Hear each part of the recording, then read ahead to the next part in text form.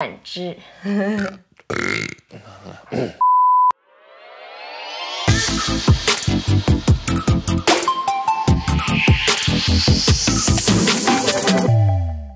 Hello，大家好，我是 David。Hello，我是 Jessica。那母亲节刚刚过去，我们首先要祝福所有已经成为母亲，或者是未来呃即将成为的母亲们，节日快乐。节日快乐，耶！我今天想跟大家分享的主题是，如果宝宝不睡觉该怎么办呢？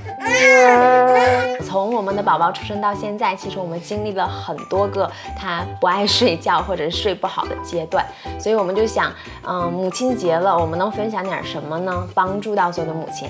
我相信对于啊、做母亲的每一位来讲，有一个爱睡觉的宝宝就是最大的礼物。第一个我们要讲的就是他刚刚出生。其实对于我们的宝宝，简单介绍一下他的情况，就是他出生的时候是八磅，刚出生的时候第一天晚上，我们就在我们的课上所学到的那个 swaddle 的技能，啊、d a v i d 就大显身手，开始给他 swaddle 各种各样的包。那可是呢，包了一下下，然后他就又踹开，啊，第一天晚上是我给他包的，对。但是那个时候他晚上大概隔可能一个小时就会醒来一次，对，然后我就去看的时候就发现，每次他醒来的时候，那个 swaddle 都已经被他挣脱了，嗯，对，所以我开始还认为是我包的技术不够好，对。结果后来我就叫来了护士，护士看说你你做的非常好。对，做的非常非常好，但是可能是因好学生是可能是因为你孩子的这个力量太大了，所以每次都把他给呃挣脱了。就我们学到的第一个 tip 就是，如果你的孩子也像我们这样力量超级大，护士教了我们一个方法，就是 double swaddle。嗯哼，对，就是包一层不够，然后包两层。对，就是在基第一层基础上再来一个像 burrito 一样给它卷起来，然后它可能就不容易那么快的挣脱。因为刚刚出生的宝宝最大的是一个惊跳反应，就是说他在呃肚子里的时候，他是觉得哦碰到哪里其实都是有一个阻挡的嘛，所以他他很喜欢那种紧紧的感觉。我知道很多父母会担心说，哎呀这么可爱这么小的宝宝一出生就给他包起来，是不是很可怜，或者觉得看起来不舒服？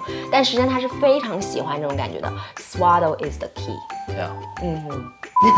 第二个我们想分享的就是我自己的一个经验，就是当出生之后，作为新手妈妈，你第一个感觉就是。啊，就是我该怎么办？就是最大的问题就是我该怎么办？所以那个时候我们有啊、请一个月嫂来帮助我们。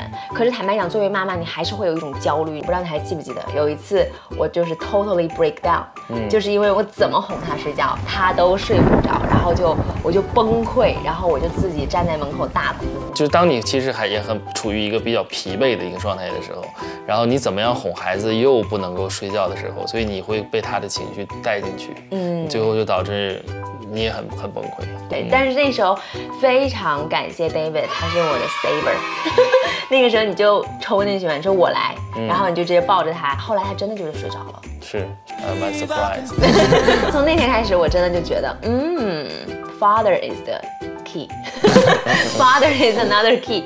OK，所以我觉得我的第二个经验，一个 tip 就是，你们真的觉得很辛苦的时候，一定不要，嗯。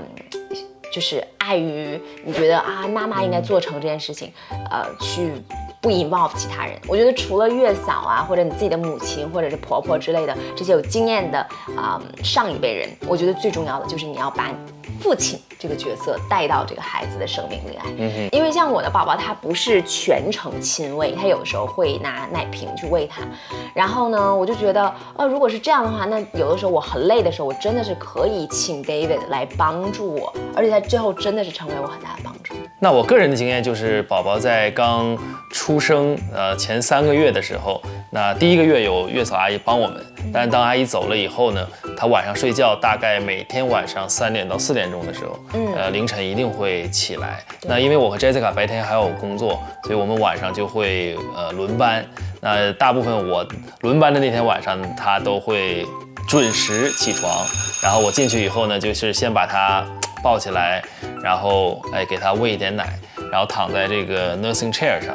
这里面提到这个 nursing chair，我觉得这么长时间，我们觉得这个对我们的帮助特别大，因为当孩子很小的时候，他一定需要在你的怀里。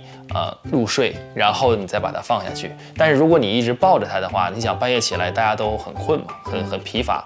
所以那个时候，他你如果把它一直放在你的怀里，一直去摇的话，其实作为父母来讲也很辛苦，也很累。但是我们呃的这个 nursing chair 就是你可以呃抱着它。呃，躺在上面，因为它还有一个脚踏，脚你可以放在上面，而且它整个会前后这样去摇。睡着以后，我就把它轻轻的再放回它的这个 crib 里面。所以零到三个月，其实是第三个我们想分享的经验就是，最好你能够坚持不要 co-sleeping。嗯，co-sleeping 是一个大部分母亲都会在新生儿阶段比较容易养成的一个习惯。其实并不是一个坏习惯，尤其宝宝刚开始的时候是非常非常需要跟妈妈、爸爸在一起的。像我们的宝宝有一个阶段，甚至跟我们住在一张床上，因为我们就觉得很方便嘛。那个时候他有点胀气，胀气的时候我们就想说怎么办呢？就给他揉肚子啊，或者是呃拍嗝，拍在我的这个肩膀上，然后拍一拍，拍一拍，我就呃。慢慢慢慢慢慢缓缓的把它放到我们的那个睡觉的，我们的床比较大，给它放到中间那个位置。然后呢，偶尔我也可以再拍一拍它，如果它要是睡不着的话，那个时候是很幸福的一件事情。可是坦白讲，co-sleeping 很多不好的东西。第一个，其实这样的做法是非常非常的不建议的，因为很容易压到宝宝，或者是他有啊，就是窒息的这个危险。所以我们很快把这个方法马上就转移成，把它放在它旁边的一个小的 bassinet 里面。跟我们一起啊挨着，可是这个挨着的 bassinet 又一个新的问题，就是如果我或者是 David 在这个过程中有一个打呼噜的人呐，或者是翻个身呐，上个厕所，他很快就会被啊影响，就会醒来。所以说 co-sleeping 当时对我们来讲是一个便捷的方法，我相信对很多父母也是一样，它是一个很便捷的，一来就上手的方法。可是最好，如果你家的条件允许的话，我们的建议是可以把它分房睡，对，让他自己有自己的房间。你只需要简单的设立一个就是 monitor 啊，baby monitor 就可以了，就是你可以长期的看到它。是的，从小养成这样的一个习惯，长大它就会自然而然的就会适应了。是，接下来我们要讲的就是四到八个月的宝宝，这个期间我们有什么样的经验可以分享给你？Wake window，watch your wake window，就是他。醒来的时间，这个是非常非常重要的。他到底该醒多少时间？醒多久是最适合这个月龄的宝宝？一定要提前的做好这个功课。像我当时就是很多次，我都在费解，为什么他不睡觉呢？为什么他一直哭？为什么怎么哄都不睡？嗯，其实很简单，就是一个道理，overtired。这是一个我们家的。nightmare 的一个词，就是我只要说不要让他 overtired，David 一定会立刻冲过来帮我陪他一起睡觉，一个很可怕的动非常敏感的一个词。对，就是千万不要 overtired。对于宝宝来讲，他如果 overtired，他基本上就是很难再自己入睡了，和他也不可能再平安的睡着。所以最好的方法就是你一定要 watch 他的 wake window。所以我会把它呃放在这个屏幕上，你们可以看到，基本上 wake window 你只要参照这个时间，前前后后差个十分二十分，嗯都没有关系。你就不会，至少你不会碰到他大哭崩溃，甚至没有办法睡着的这个问题。那第二点我们要分享的就是这个 wake window，我们抓住了，呃，控制他，一定不要让他 overtired，一定不要让他太累，嗯，否则他就睡不着了。对。那可是他就接下来又出现另一个问题，就叫做 separation anxiety，就是分离焦虑。那么每次我们把他放到床上的时候，他就会直接从床上就站起来。然后他就不睡觉，然后他就会哭啊，就会闹，因为我们在想说，可能那个时候他一点点一点点认识人了，嗯，那他就不希望自己呃一个人睡。那那个时候遇到这个问题最多的就是 Jessica，每次我们给他呃这个快要给他哄睡，然后放在床上的时候，他一下子就突然就就站起来，好像就不睡了。所以对于这个阶段，我们会轮流带他。那比如今天呢，就是 Jessica 一个人去哄他去睡觉。那明天呢，就可以换作是我，每一个人去呃、轮流带他去入睡，让他不要把他的焦点就放在这一个人的身上。当时有一个很搞笑的事情，因为 David 在带他的时候，我这边就会看 monitor 嘛，然后就在这边默默的祈祷说啊，赶快睡，赶快睡。然后有的时候他真的已经睡得很好了，放下之后，因为那时候我们还没有 sleep training，、嗯对吧？就是基本上我们是遵循他睡着了才放下。对对。然后睡着之后呢，要放下的时候，你还记得你吗？就是一直狂按他，因为他要起来。我每次给他放下去以后，我就会在他这个过程当中，就是一只手，一只大手摁摁 摁住他，呃，轻轻的摁住他，但争取不让先不要让他去翻身，然后我会我会拍他，轻轻的拍他，对，拍那个肩膀对，拍，拍肩膀，不要，拍前胸，是会觉得很闷。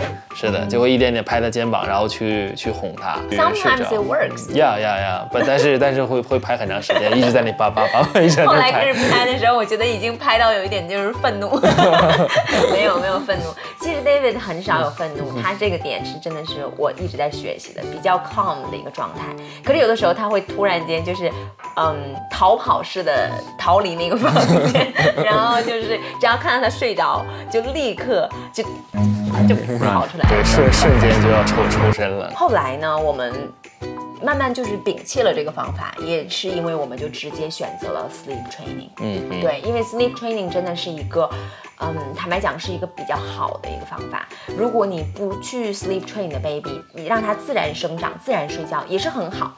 可是，嗯、对于父母来讲，尤其是比较忙碌的父母，真的可以坦白讲，sleep training 是你的救星。如果你愿意的话，可以去更多了解这个方法，嗯，会帮助到宝宝很多。嗯，我也听过一个 sleep trainer 说过一句话，就是 the best gift you can give a baby is the good sleep habit，、就是好好的睡觉的习惯。他掌握这个习惯，基本上所有的问题他都可以迎刃而解。像我们最近宝宝生病了嘛，然后但是他的睡眠几乎没有没有问题，没有打乱，晚上还是照样睡十二个小时，醒来自己也可以睡得着。其实最大的原因就是因为他之前已经掌握了如何自己睡觉。嗯，已经养成了一个非常好的呃自主入睡呃的这样的一个习惯，而且一觉可以睡睡到天亮。嗯对，所以呢，那接下来我们就想讲一讲，呃，sleep training 需要了解一些什么东西。